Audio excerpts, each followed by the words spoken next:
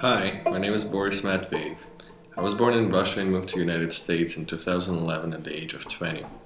I started working with leather about three years ago and I taught myself leather crafting by watching online tutorials and reading related blogs. I started with smaller projects and slowly moved toward more elaborate ones. My creative process always starts with choosing materials. I look for different colors and textures and mix and match them together to create truly unique combinations. I was interested in fashion for as long as I can remember. I am generally inspired by nature, especially tropical landscapes and animals and insects.